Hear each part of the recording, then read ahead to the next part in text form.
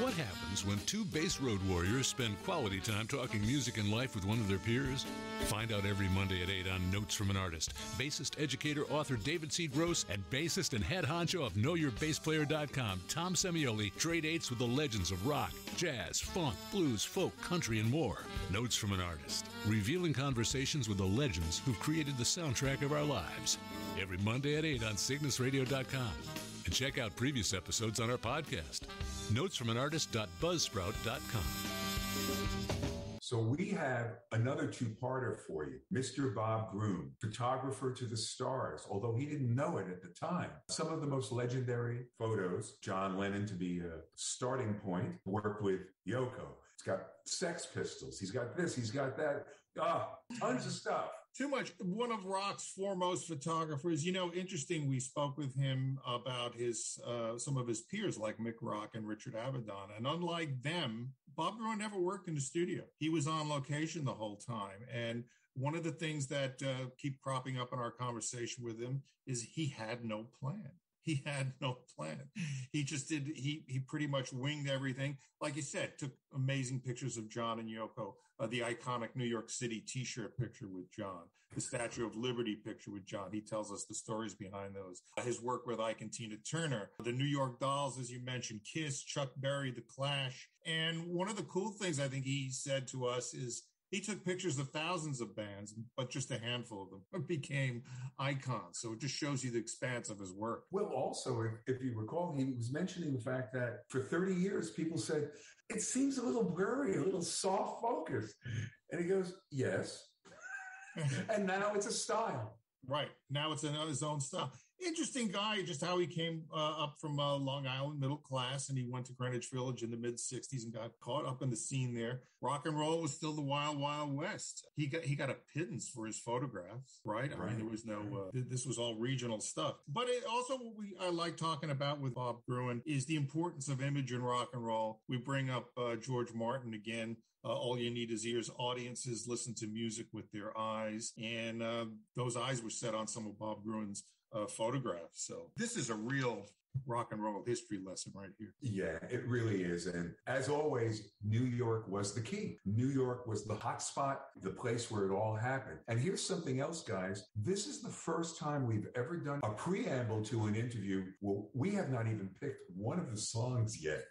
So we're going to be just as excited. Let's bring on Bob Gruen, man. Let him tell his story. Yeah, yeah. There he is. Got it, Sherry. All right, Bob Gruen. We see the name Bob. Hello. And there's Bob Gruen. Hello, Bob Gruen. Hi. Well, thanks for being on our show. Look at look, David. Look how nice his background is. yeah, has green screen. I do. I have a green screen for when I'm not here. Well, you've been in the right place at the right time many times, and the book is absolutely fascinating. It really, well, uh, thank uh, you. It takes you back to a time when, uh, uh, well, young people should really know about. It. I mean, David and I lived through some of it. David, you lived through it a little more than I did. It was a golden era when rock and roll was not part of the establishment. Right. That was the point in the beginning was to be anti-establishment. That was a big word back then. Uh, the establishment was fighting a war that people didn't want to be involved in. Right. And the idea was to turn on, tune in, and drop out. Basically, what I did, I dropped out to live with a rock and roll band. But what I didn't know was I was actually falling in to the rest of my life and my career. Fascinating that you say throughout the book, you have no plan. You have no plan. No, I kind of take it day by day, you know, and see what happens because plans are just meant to change anyway. You know, uh, Malcolm McLaren uh, explained to somebody one time. Somebody was asking me, Malcolm, what was your plan? How did you, you know, get started? And Malcolm looked at me and we looked at each other like, plan? And Malcolm said, you know, you, you go to sleep at night and you have plans for the next day and things you think you're going to do. And you wake up in the morning and the phone rings and things change. Nowadays, of course, the phone doesn't ring, but you get an email, you know, and things right. change. And you just kind of, I've always just kind of go, go with the flow and try to make the best of however the situation changes. You know, you, have got to stay in the current and keep moving. You talk about being in the right place at the right time. You grew up in uh, Long Island, as I did, and your parents were your lawyers and taught you to question everything, which is right. probably the perfect uh, uh, training for a rock and roll photographer. Well, taking pictures of my family also, you know, you have to get six dysfunctional people looking good for a 60th of a second. And that's basically what I did with a lot of rock and roll bands for the rest of my life. So, um, you know, but questioning everything, it's not just that parents were lawyers. I think it's the tradition of uh, the religion. Uh, you wake up in the morning and you ask questions. And so, uh, you know, when I got around to the Clash and they had the slogan "Question Authority," I'd already been doing that for twenty years. you know? That was Garageland by the Clash. This is notes from an artist, Cygnus Radio. Gravitating towards Greenwich Village, obviously, which is where people of your mindset went to. Give us an idea of the aesthetic back then. I mean, you were you were at Newport in '65. There must have been an incredible energy that uh, you know permeated the whole the whole culture back. Well, it is. It was very much. Uh, you know, there was a an establishment that was you know uh, fighting a war and uh, wanting people to still be kind of the straight, square culture that came out of the Second World War, people conforming, you know, the building out towns like Levittown where every single right. house is the same. Uh, people were meant to dress the same and comb their hair the same. And then in the 60s, the hippie movement started, um, and the folk music actually before that, uh, started rebelling against that. Uh, you know, wanting to grow their hair whatever length they wanted, or wear whatever clothes they wanted, and have whatever job they wanted. But certainly, you didn't want a job that would support the establishment that was fighting the war. So uh, there was a whole idea of us and them, and there were alternative newspapers, uh, and that was uh, kind of a big thing, but not in uh, in a sense like I don't know. Today, it just seems even more polarized than ever because the us doesn't seem to to be a, a, group. You know, back then, if you saw another guy in bell bottoms and his hair was a little long, you kind of gave the high sign. You knew you had something in common. Nowadays, you don't really know what you got in common with anybody. That's so true. You know, you, you mentioned World War II, and if you think about it, the period right after World War II, if you were a Jack Kerouac or an Allen Ginsberg, you were even more alienated than ever. And then all of a sudden, you got the beat movement going on. Then right. you've got what did they call them back in the 50s? Dungarees. You can't wear dungarees to school. I remember there were a couple of uh, clothing films that they used to play at, at schools, and you saw this is the correct way to dress, and this is not.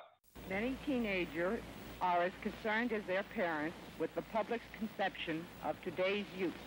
This group is our ideal of the proper school attire and social behaviors of the Hicksville Junior High student. You weren't allowed in. You had to have a shirt with a collar. T-shirt was underwear, and you didn't show a T-shirt in public. Like maybe if you were out you know, on a weekend mowing the lawn, you could wear a t-shirt, but people generally didn't go out of the house wearing a t-shirt. A t-shirt was not clothes; it was underclothes. And uh, I remember you had to have a shirt with a collar, and your hair could not touch your collar. Your hair had to be shorter than the collar. And of course, that all changed. I mean, you know, I have younger friends, uh, younger uh, people in their forties and fifties who went to school in blue jeans. You know, dungarees, as you say. Yeah, they weren't even called blue jeans. That was not allowed. You couldn't go to school in, in dungarees and a t-shirt. That was absolutely.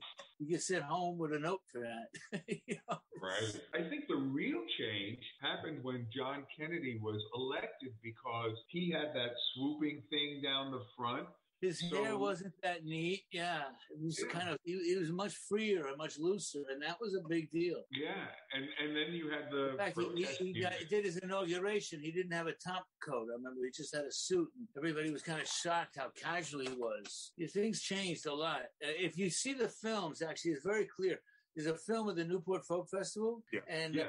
there's a film of the Woodstock Folk Festival if you see people in the wood in the Newport Folk Festival walking into the festival, they all have shirts with collars, and many of the men have a have a sports jacket, like Kerouac and Ginsberg had a, a tweedy looking uh, academic type, but still a sports jacket. A man wore a jacket and a shirt, maybe not a tie. That's how casual we were. We didn't wear ties. That was a seminal moment in rock history. Bob Dylan went electric at the 1965 Newport Folk Festival the tune was Maggie's Farm. This is Notes from an Artist, cygnusradio.com. You see the films of people walking into Woodstock, everybody's just wearing a t shirt. If they're wearing anything. I had, I remember actually, I have a picture of myself. I had a shirt with a collar.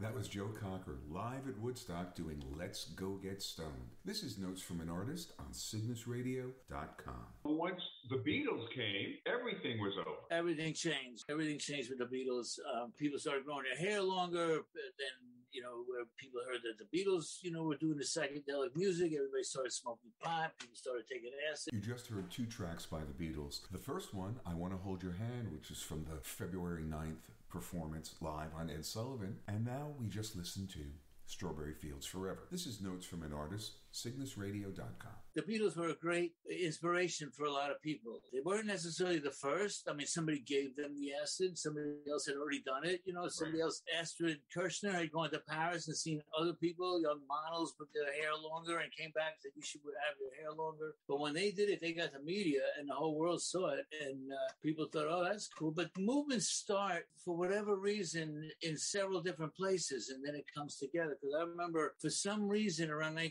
1968 or whatever year it was, I felt like growing a mustache. And, uh, and at first it was kind of funny, you know, first week or two, you just look like you haven't shaved. And my friends were saying, what are you doing? You know, I said, I'm growing a mustache. Said, Why are you doing that? Three months after I decided to do it, when I was actually growing in and it looked like a mustache, all of a sudden a Beatle album came out, Sergeant Pepper's, and all the Beatles had a mustache. Well, within two weeks, all my friends were growing mustaches. well, I'll tell you, Tom can attest. Over COVID, I was trying to grow up, and I'm still an adolescent. I, I, I can't. It still looks like six months later that I'm growing. I need a shave. Well, when, when, we uh, when we did the lockdown, the first month, I thought, well, I'm not going anywhere. I don't have to shave. And so, yeah, I got a COVID beard. After about a month, it was starting to actually feel like a beard. And my wife was starting to say, uh, are you really going to keep that? Aren't you going to shave someday? you know?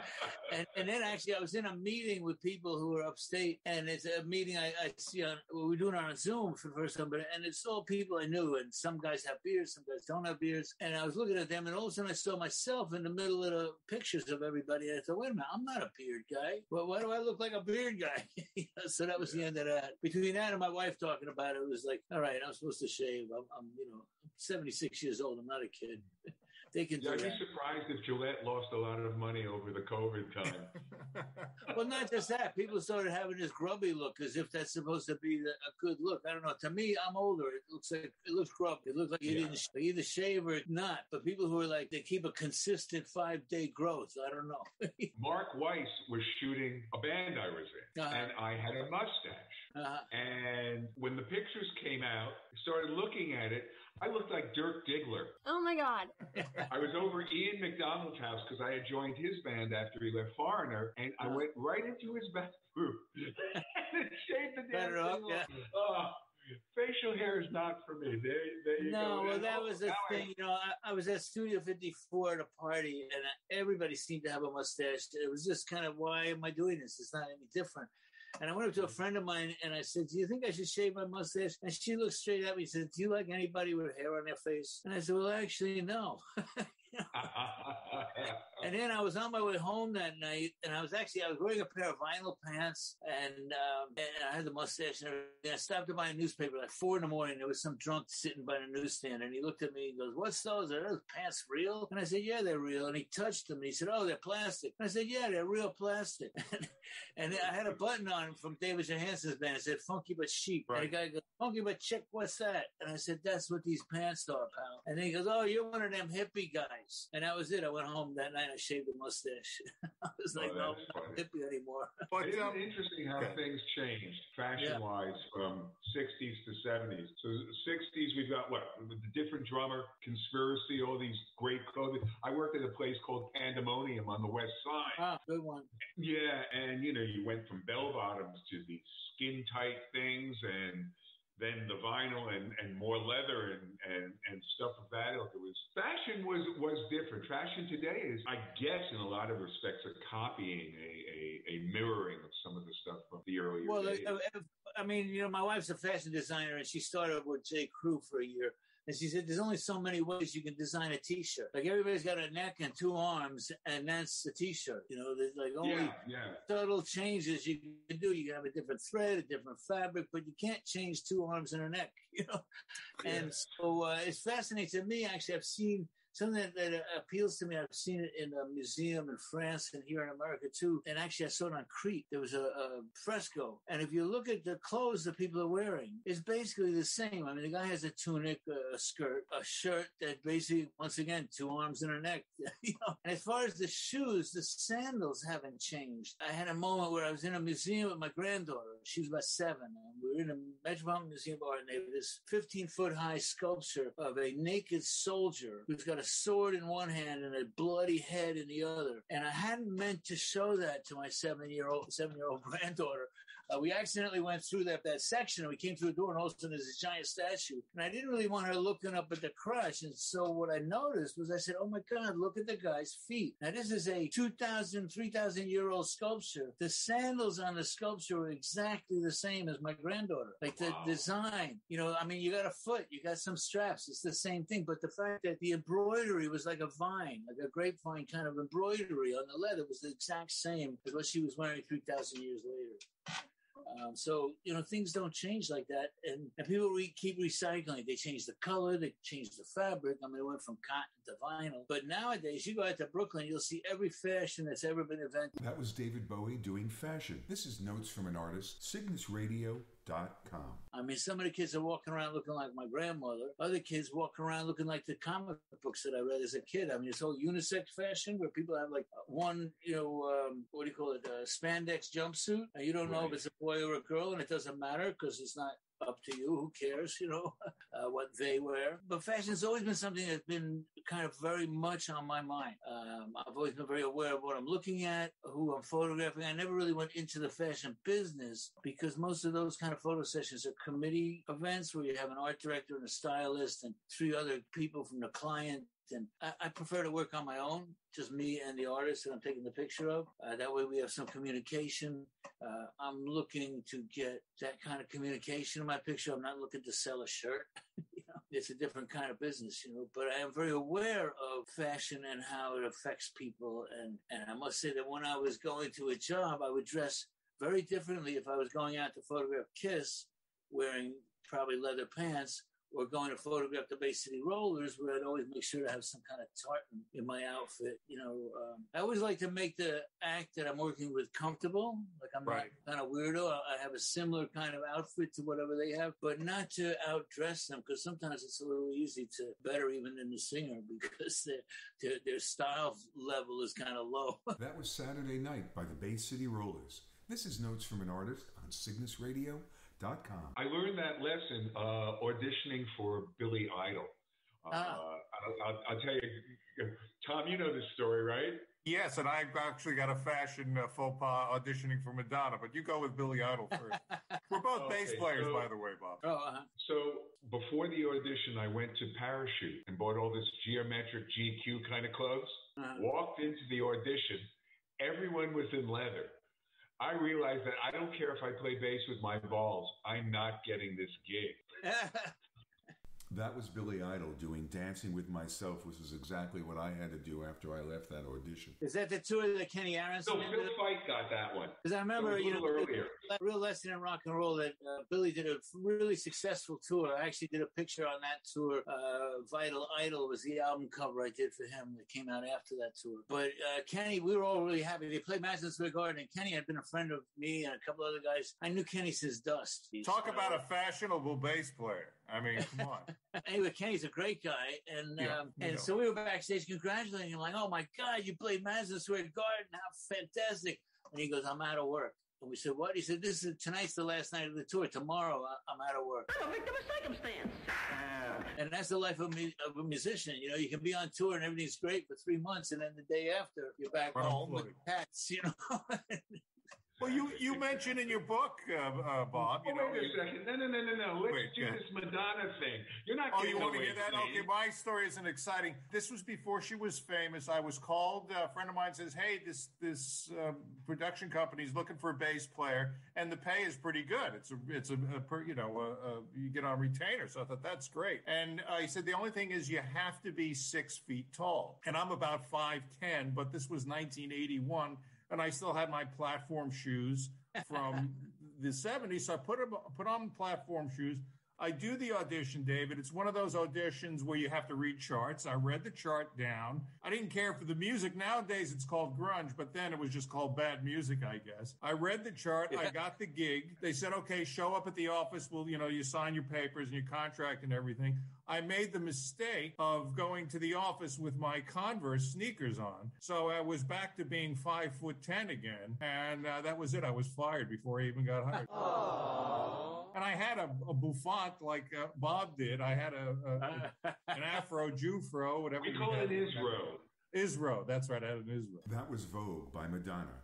This is Notes from an Artist, CygnusRadio.com. We're going to talk about the the importance of image in rock and roll, even when it was anti-establishment. And there's a book that George Martin wrote in 1979 called "All You Need Is Ears," and he says in the book, as talented as the Beatles were, and uh, you know, and even though you know he did mold them uh, to be a pop band, he says the Beatles were just incredible to look at. He said it was so important, their image, just the way they carried themselves. And Bob, even though rock was anti show business, image was so very, very important. And that's what you captured that helped these stars. I, I don't know if it was anti show business, it was kind of anti the past. Okay. But everybody knew they were in show business. And for myself, I think that, you know, if this is called show business, there should be a show to see.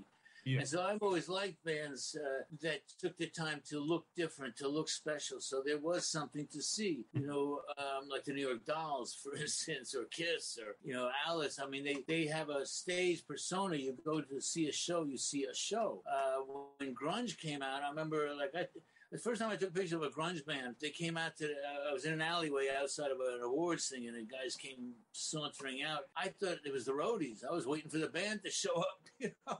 And actually, I did a panel one time in Austin at the South by Southwest, uh, and the Yeah. idea was of rock in rock and roll. And I had John Varvatos and uh, BP Fallon and Jesse Malin and a number of people discussing whether or not you could teach rock and roll. Like, could they buy John? You know, could John Varvatos take somebody walk into a store and he said, "Okay, put this on and you'll look like a rock star." We all decided that you could buy whatever clothes you wanted, but that there was a charisma that you can't buy. You either have an attitude and you know how to look cool, in which case you could wear just about anything, or you don't. And if you don't, it doesn't matter how sparkly the shirt is. If you don't wear it right, you don't look right. And so there is a whole charisma thing that goes on to uh, get rock and roll. I mean, you still need, a, you know, a haircut and attitude is, is the basic uh, basis of rock and roll image. But um, actually, the attitude is ninety percent of it. Right. Well, right. you know, Bill Aucoin said something to me when, when he was managing one of my bands, and he said, Steve Stevens, I told him, even if he goes to the deli, he has to dress like he's on stage. You must dress like that always. And Yeah. it was an interesting thing because he managed me three years after I failed when he was managing Billy Idol. So I had already learned that lesson by then. But another thing, Tom, I don't know who said this, but someone we were we were interviewing said, I can tell when he straps the bass on if he's going to be good or not. yeah. Who was that? I don't, you know, a lot of people have said to this. I think Ron Carter said that to us. Spoke with Ron Carter. I think probably Carmen Rojas.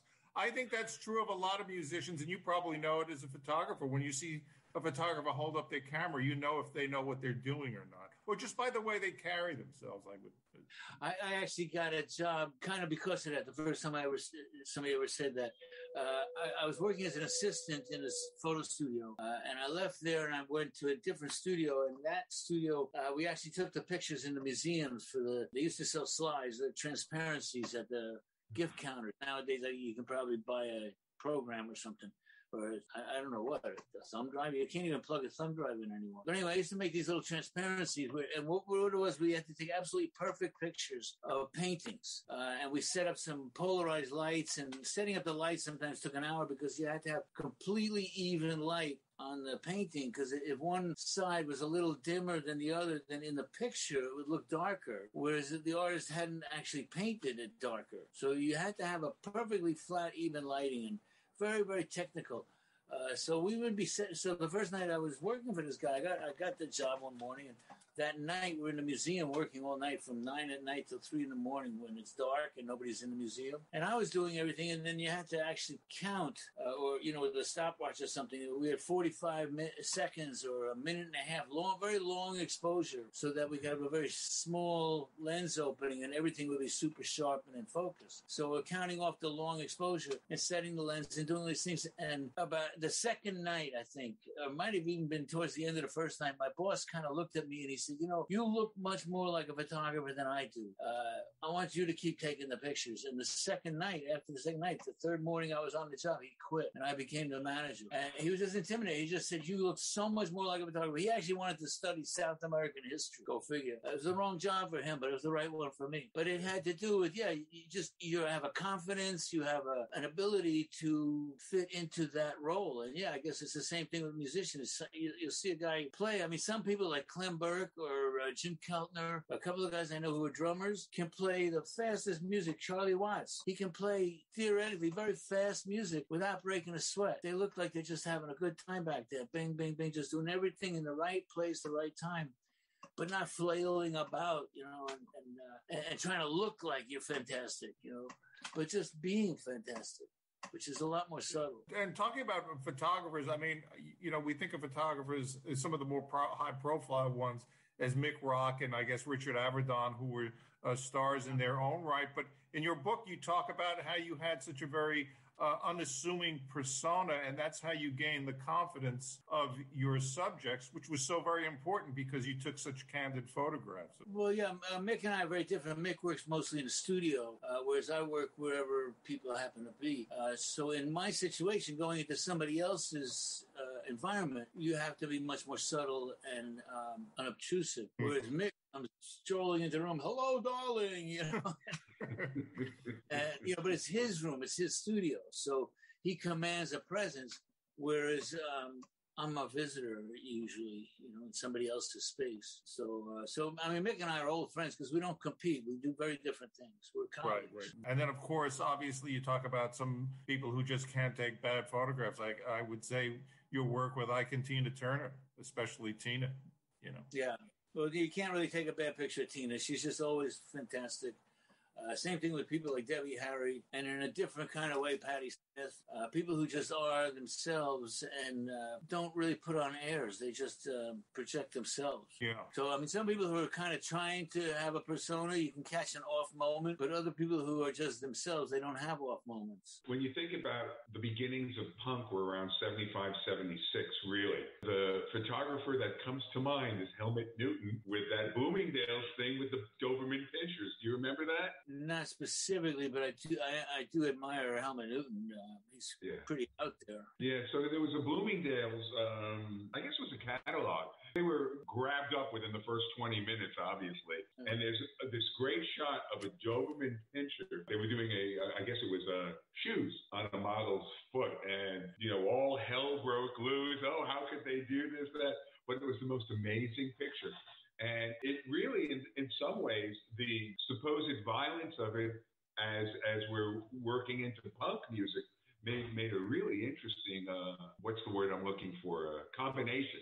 Mm-hmm, mm-hmm. Uh, well, I, a lot of uh, photographers, you know, do that kind of thing where they think of a concept and then create it. My work is kind of the opposite, where I find what's going on and try to capture it. Uh, I don't usually create a shot, you know, by telling somebody, why don't you do this and we'll go there and you'll turn like this and look like that. Like when I'm doing a session, I don't give me, say, give me more leg, baby. You know, I often say almost nothing and I just wait for people to um, to find their own comfort level, to find the way they feel like looking at the camera. Because I always felt if I tell them what to do, then they're going to be looking like they're doing something that somebody told them to do, rather than just looking like themselves and looking at something that they thought up themselves. Uh, I mean, it's, it's rare. I mean, that's why one of the reasons I'm really proud of the picture I took with John Lennon, the Statue of Liberty, is because that was a conscious thought in, a, in advance where I said, "Wow, that would be a good picture if we did this." And uh, and John happened to agree with me and and wanted. And he said, "That's a great idea. Let's go to the Statue of Liberty." So uh, in that case, we went there on purpose. That was "Give Me Some Truth" by John Lennon. This is Notes from an Artist. CygnusRadio.com. Yes, with the Dress to Kill uh, came as part of a photo novella that we were making for Creem magazine a photo novella is kind of like a comic book made of photographs. And uh, it was two pages where Kiss um, finds out about a John uh, Cle- a John Denver concert, which we actually cleverly disguised by calling him John Cleveland. But they hear about this concert and they think that the world is gonna is just getting so boring, and they want to save the world with rock and roll. So they put up fake posters, and everybody comes to the John Cleveland concert, and they come out as Kiss, and they save the world, uh, and, uh, and they get rewarded. Uh, they get medals pinned on them, and they have an orgy. Uh, for some reason, the picture that's titled Kiss Orgy is one of the most popular pictures on my website as far as, you know, a number of hits. uh, but when we did that with a picture that as we were coming out of it, we went to a subway and they're dressed in suits and ties because in the morning when they find out about this concert, they're actually on their way to work in their secret identity. Uh, you know, like Clark Kent has a suit and tie instead of looking like Superman. Uh, in this case, they did have their kiss face, as if nobody would recognize their face, you know, being kissed.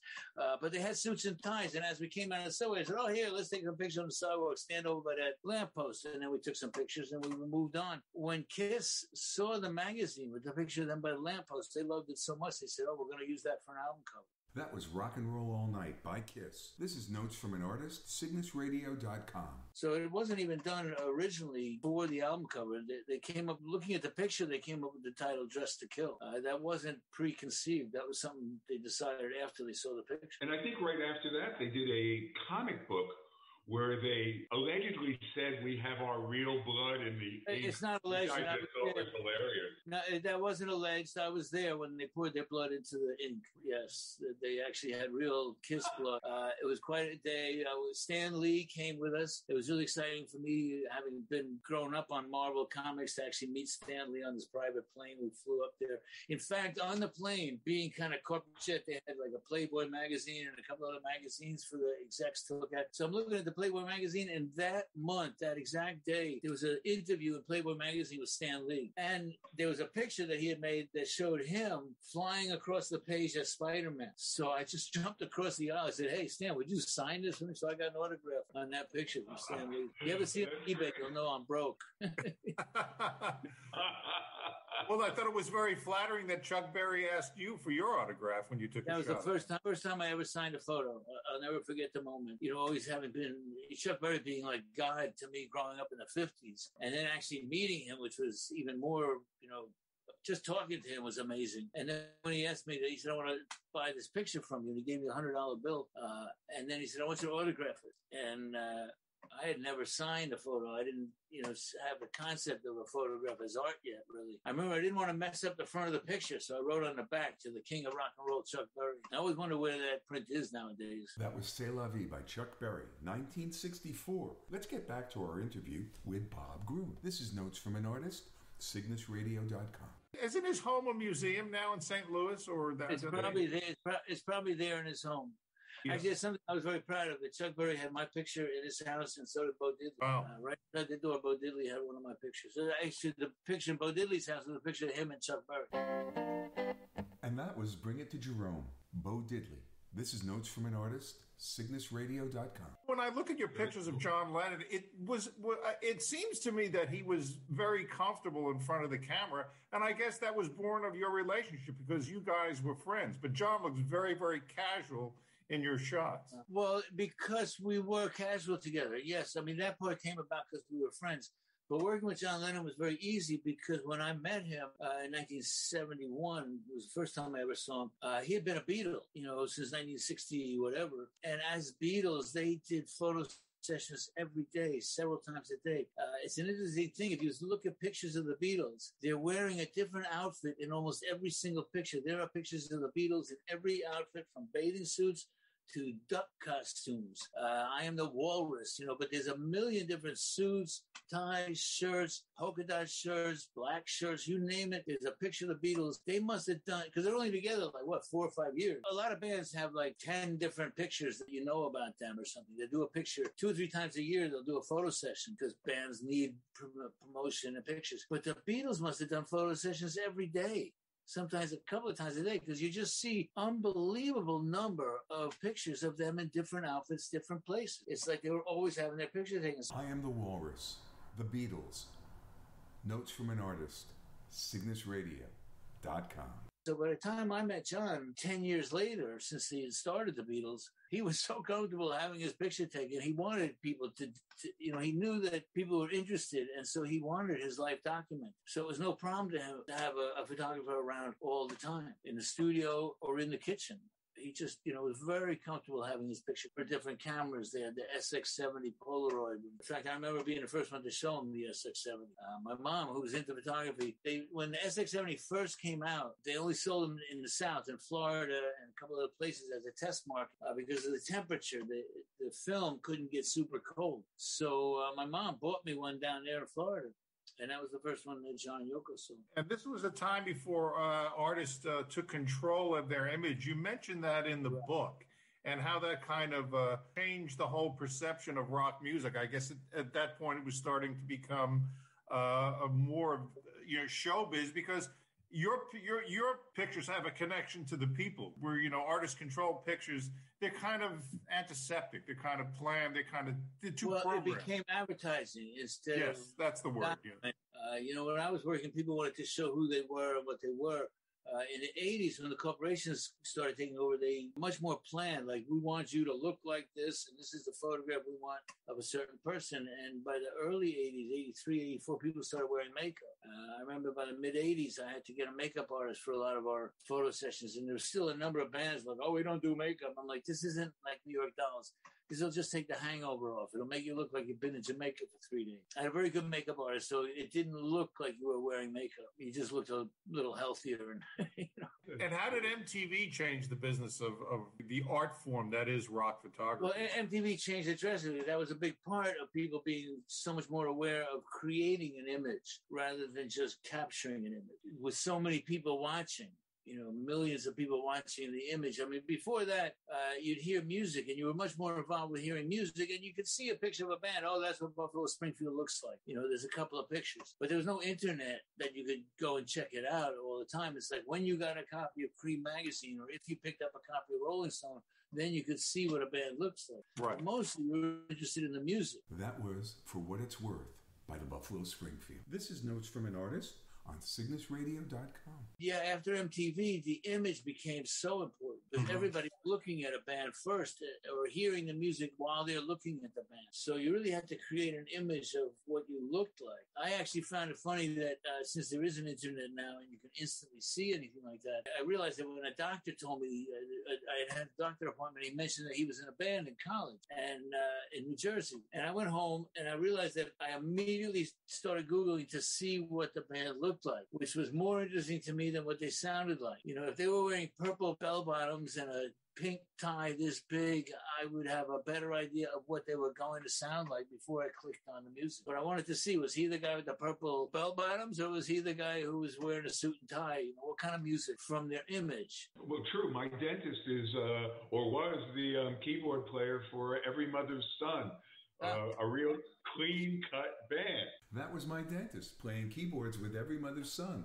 Come on down to my boat, baby. This is Notes from an Artist on CygnusRadio.com. I think my first recollection of any video of a band was on a Loser by the Beatles on Hullabaloo. And that was just the band playing their song. Until MTV, you didn't, and so many of MTV's videos have nothing to do with the song. No, there's stories, little stories. Uh, one that I remember, um, I forget what I forget what song it was, but there's a girl who goes down into a fallout shelter, and there's a whole scene about getting stuck in a fallout shelter. But the cartoon of Dire Straits, I Want My MTV, that shows the right. workers in a factory packing up refrigerators and TVs and saying that ain't working. You know, look at those guys. Yeah, MTV changed everything. You know, video to, killed the radio star. That was one of the first videos, and it's so totally true. That might even be the one with the fallout shelter. Uh, video killed the radio star. That was the first video. Well, the first on, on MTV, yes. That was the Buggles doing Video Killed the Radio Star. And that's an interesting band because it was Geoff Downes on keyboards who was in Yes, and also um, Asia, and Trevor Horn, bassist who produced everyone from Yes to Frankie Goes to Hollywood.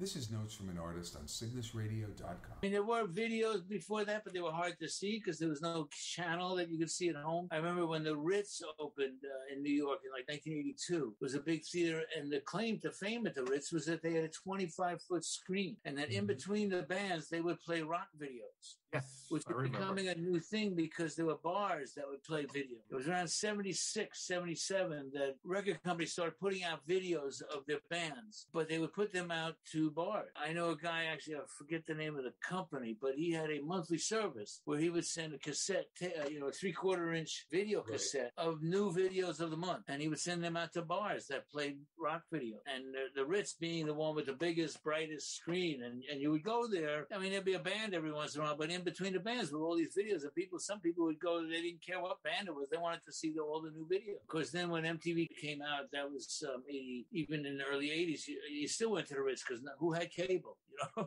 Right, right, exactly. Cable was something you had to pay for. So it took a while for MTV to catch on. I remember thinking it was kind of funny uh, when MTV first came out in 1981, I believe. We couldn't get it in New York for the first year. It wasn't available on the New York cable channels, and we were all going, "I want my MTV." Right. But Uh, then downtown got it faster than uptown because there was Yeah. there was a demarcation line. I forget the name of the two competing companies. well, but- Manhattan Cable was on 23rd Street. Right. And They were the main, they were the main uh, cable, but yeah, they had to wire buildings that had people who could pay for cable. Yeah. Kind of funny that as the city was getting more and more wired, I started uh, I started recording bands uh, with a portable video camera in 1970. I think 1970 uh, when the Sony Portapack was invented. I talked my dad into buying me one, and I started videotaping bands. Actually, the first one I talk about in, the, in my book, uh, where I started working with like Tina Turner, because Tina loved the fact that she could see the show with the guess right after they did it. Before that, the only way a band could see themselves is if somebody had the money to pay for a film, which you would then have to get developed and then have a projector and a screen to show it. Whereas with video, you could take a tape a show, roll of videotape was ten dollars, and that way cheaper than film, and you didn't have to process or anything. You tape a show and immediately go into the dressing room hotel and play it back on any TV and see the show. So that was a huge thing for bands to be able to see it. And I started taping more bands. The New York Dolls loved watching themselves on TV. And that was the New York Dolls. That was Trash from a Rock Concert with Ron Delsener. This is Notes from an Artist, cygnusradio.com. And then I started taping more and more bands. I had a, a good connection with the owner of Tramps here in New York. And they had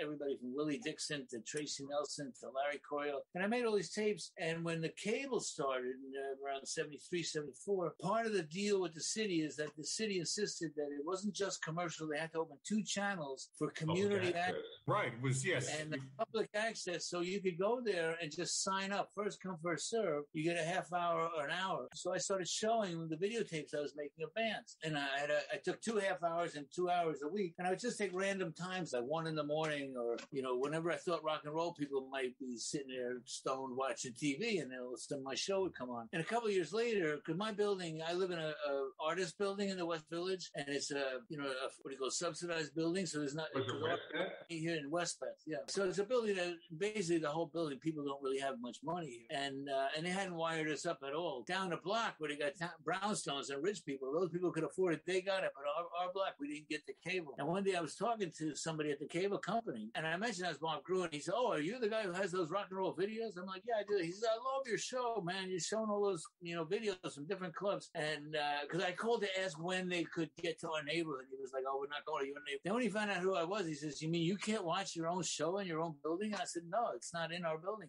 He said, "I'll take care of that." So I got the whole building because I had my TV show.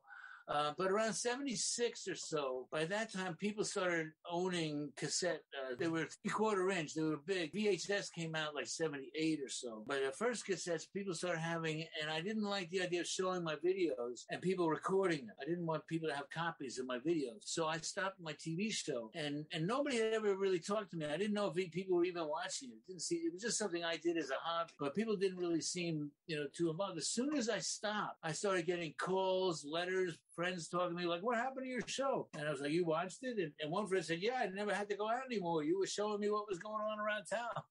so, but it wasn't until I stopped that people said anything to me about it. It was kind of funny. I love the parts in your book where you talk that your apartment was the place to hang because you showed all these videos and, and Yeah, really video parties. Yeah, yeah, your I video remember- parties. We had Elephant's Memory, LaBelle, and a couple of people from my Cantina band all in the living room at the same time. Hmm. Turner came one time. John and Yoko came one time. Even, even though it's all available, I had the, the tape recorder. It was 1500 bucks. But most people didn't have a machine to play a tape. So they all had to come to my house to watch it. It was easier than film, but they still they couldn't do it at home yet. That equipment must have been expensive in those days, and it must have been bulky because right wasn't were the Oh, yeah. cameras big? Yeah, it's kind of funny. I remember noticing how at one point the box that the camera came in, when they had a camera that had a cassette built in, that was smaller than the camera that I used. the camera I used was about this big with the camera and lens and so on. And then there was a cable that attached it to the actual tape recorder, which was a reel to reel tape recorder, like the old fashioned thing. It was a half inch tape. You threaded it through the reels and, and you carried this thing on your shoulder. It was about 40 pounds. And then, and that would work for half an hour on the battery. So to make it last a bit longer, you wore a belt. The belt was about another 12,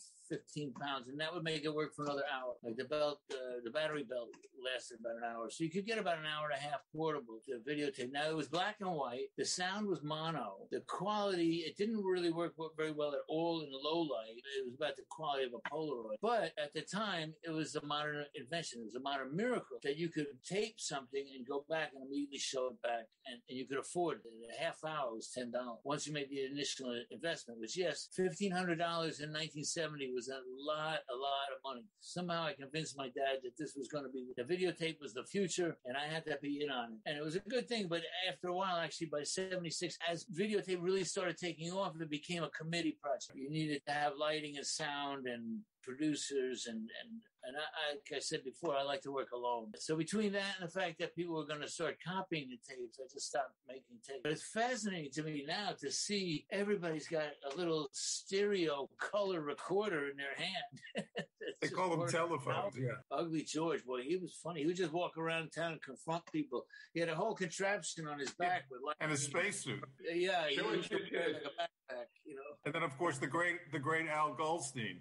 And Yeah. um, and it's interesting because the networks, I remember with Manhattan Public Access, I think you paid what twenty five dollars and you got your show on No, for no, half. no, was it was free. It was free. Okay. The networks tried to co-opt that, but they couldn't. Uh, they couldn't approximate the DIY aesthetic of it. They just Not at all. No. they couldn't do it. They couldn't do it. That's where Glenn, uh, Glenn O'Brien had his TV party where he would tape a su- sort of a panel on stage at the Mud Club. Uh, and he had Jean Michel Basquiat and Debbie Harry and uh, a lot of the downtown artist people. He packaged some of them, the Glenn O'Brien's TV party you can get on, I, I guess it's streaming, everything's streaming. I was going to say a DVD, but I've seen so many advances in my life. It's kind of weird to realize that as I'm older, looking back, I remember when uh, cassette recorders were kind of came out. You know, the fact that there was a cassette, you know, eighth inch tape that you know worked, played stereo, man, was a new invention. And the phone, I don't know why they call it a phone. It does so much. I mean, I you have your phone in your hand. It tells you every, anything you ever wanted to know in the world. If you remember to just ask Google. You know, people in their forties, they don't take calls. You can text them and they'll text back. And sometimes, they, you know, when you're texting somebody and you go two or three times, you're texting and they're answering right away. And I think the guy's got his phone around in his hand. Why don't I just call them and we'll have this whole conversation? We'll have type over and over. And you call and call and call and they don't answer the phone. And and you text back and say, oh, I can't talk right now.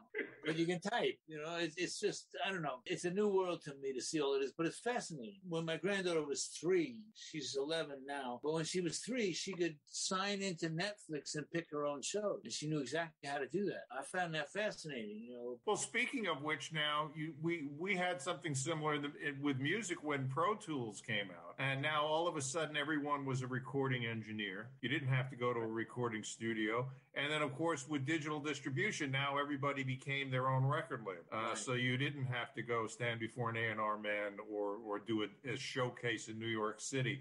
And it seems like the same thing now with obviously with the iPhone, as you say, which is really a, camera with a phone in it. How has that affected the art of photography as you see it? Well, I think it's expanded it. I mean, I always enjoyed taking pictures, and I see other people really enjoying taking pictures. They'll take a picture and immediately look at it. And in my time, there was that moment with the Polaroid. There's lots of pictures of people looking at Polaroid because once you took the Polaroid, you immediately looked at it to see what it was going to look like. And there, that's a moment that people, you know, universally shared that moment of waiting for the picture to appear. And now you're not waiting for it to appear, but everybody wants to know immediately what does it look. And I see people smiling and enjoying it, and that's something I always did. So I think it's good that people can take pictures, people can show pictures of what's going on. I find that the quality is so amazing. The way the algorithm reads the light. Last June, part of the Tribeca Film Festival, there were two films that came out, one from Blondie and one from Kiss. Uh, Kiss has a documentary, and Blondie had a documentary about their their trip to Cuba. I got invited to both of the screenings, which were outdoors, and they played a short set, each band, after the, they were different days. Uh, and I took pictures of them. You look at my Instagram, that picture is as good as any picture I've taken with my bigger camera. We're just listening to two tracks. The first was Kiss doing Nothing to Lose,